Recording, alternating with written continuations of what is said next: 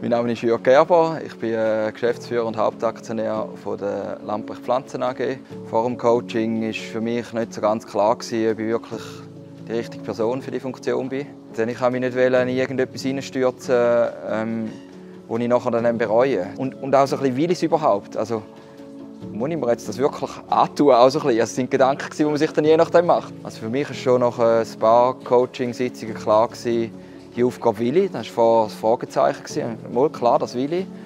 Und nachher, bis ich dann übernommen habe von meinem Vorgänger, ist, hatte ich auch eine gewisse Sicherheit. Die Themen, die wir angeschaut haben, waren vor allem sehr viele Praxisbeispiele. Gewesen, äh, ich aus meinem, aus meinem Alltag, ich hatte ja dort Personalführung gehabt, und das war das Thema, gewesen, wo wir dort Beispiele angeschaut haben, ja, wie gehst du jetzt vor, was hast du dir überlegt.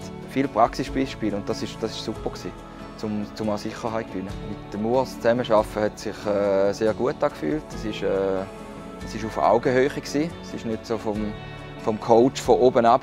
Das ist mir auch wichtig gewesen. Er hat mich dort abgeholt, wo ich gestanden bin und, und, äh, und hat mir mit, mit gut, häufig mit guten Fragen weitergeholfen.